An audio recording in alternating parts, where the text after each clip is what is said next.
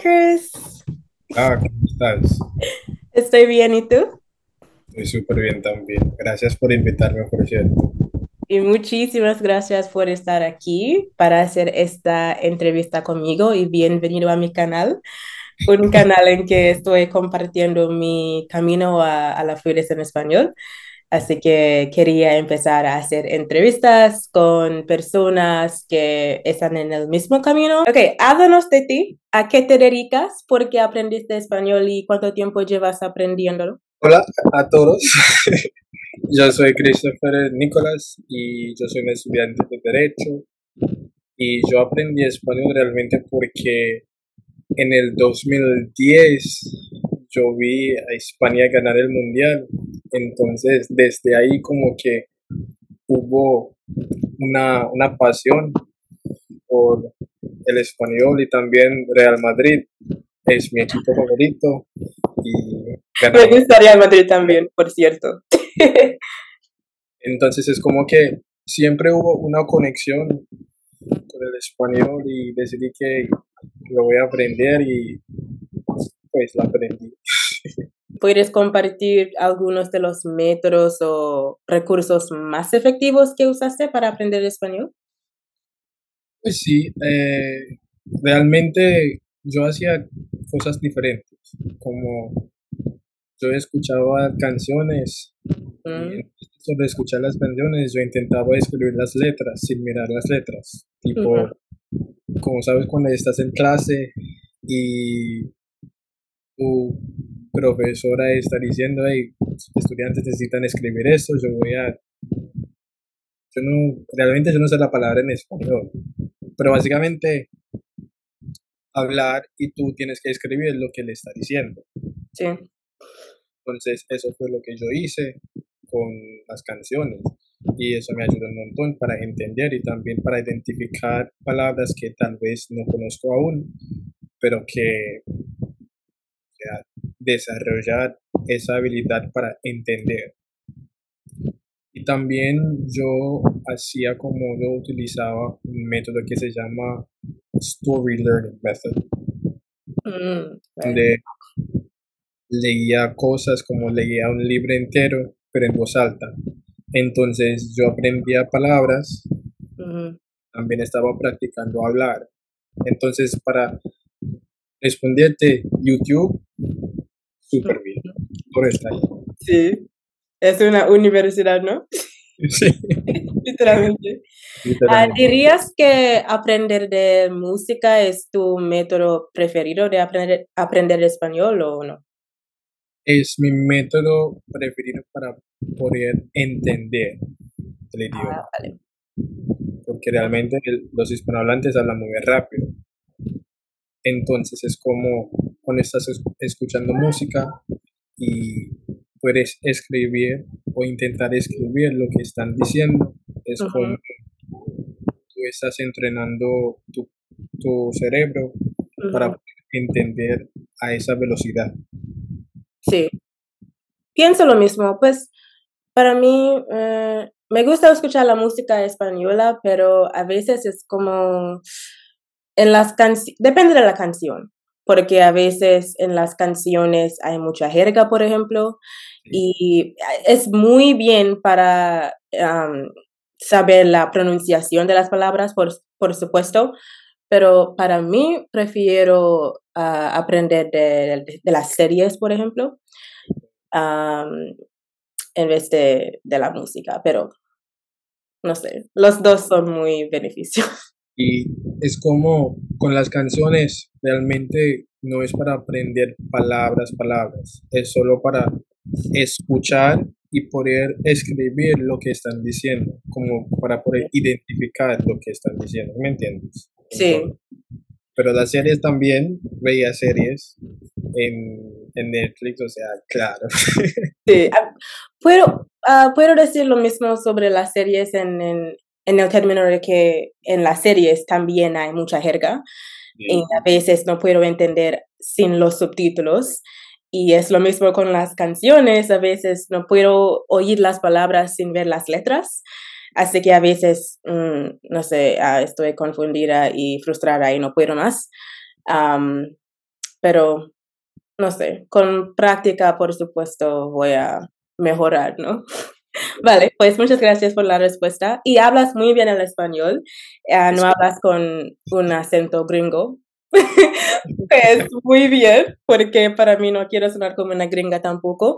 Así que practicaste mucho con los hispanohablantes y cómo, cómo puedes hablar sin ese acento. Realmente la práctica con los hispanohablantes me ayudó un montón también, pero realmente lo que yo hacía era, yo descarga, yo descargaba eh, videos de TikTok, porque ahora mi TikTok se lo pone. Entonces yo descargaba los videos de TikTok y yo lo imitaba. Entonces yo descargué un video y escuchaba lo que dijeron y después yo lo repetía en la misma manera, o sea, en todo con el acento, en la misma intonación. Sí. Era muy, muy similar para mí como hablar exactamente como ellos hablan. Entonces eso fue realmente lo que me ayudó a mejorar mi acento y también hablar con hispanohablantes, eso me ayudó, pero con detalles, como detallitos. Una persona me, me dijo una vez en inglés para decir palabras como con AX. Exactly. Para nosotros decimos ex, como ex. Yeah.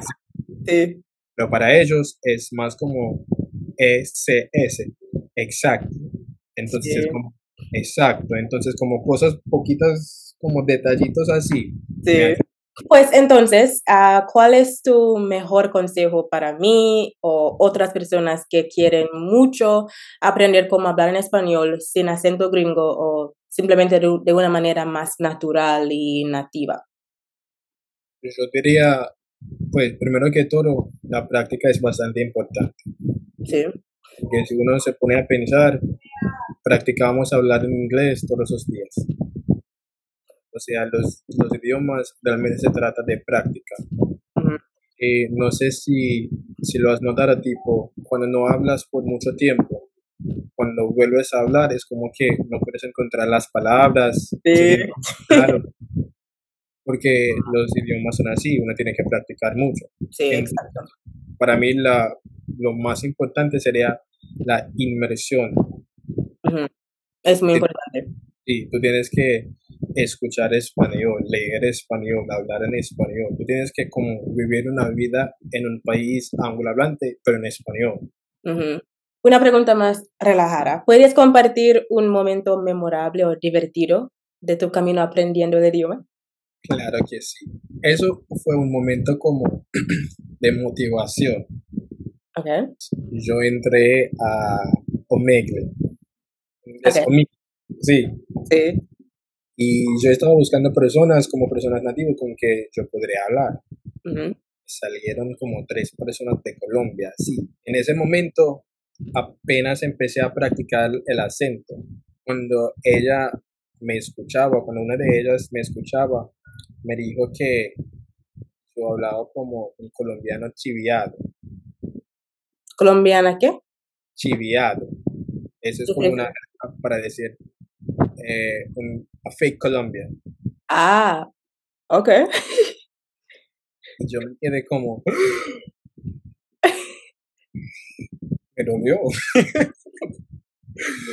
Y yo como desde ese momento yo decidí que eso no puede quedar así, jamás. me puse a estudiar, a estudiar, a repetir, a repetir, a repetir, a repetir, a repetir, como los videos y todo eso. Y ahora, cuando las personas me escuchan hablar, o sea, ellos no saben de dónde soy, porque yo soy de Jamaica. Tú sabes eso. Tú y yo sabemos. Sí, sí, sí. Pero para ellos siempre me dicen, no, pero eres colombiano. Pero no eres. o ¿por qué tienes un acento colombiano? O sea, siempre se confunde. Entonces, como que ese momento realmente me ayudó a, tener como el acento que yo tengo hoy. Entonces fue un momento malo, pero ahora bien. no, pero de verdad hablas muy bien el español.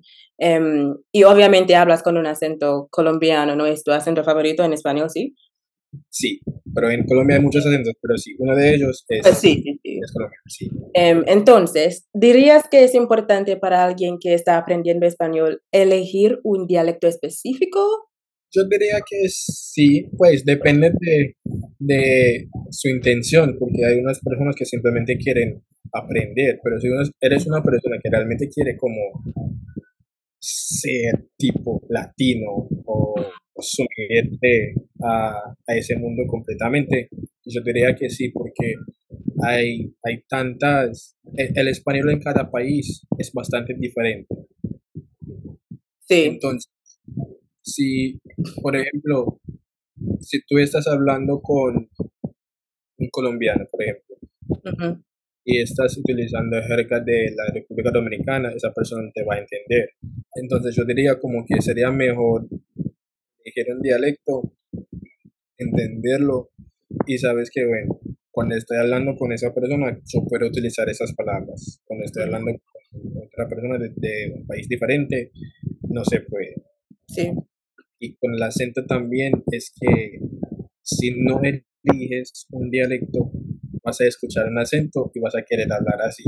Vas a escuchar otro acento y vas a querer hablar así. Sí. Y va a ser una mezcla de muchos acentos que después es como que... ¿De dónde eres? no, literalmente para mí cambio todas esas veces porque si hay un periodo en mi, en mi vida en que estoy viendo muchos uh, youtubers de España, por ejemplo, series de España, quiero el acento colombiano.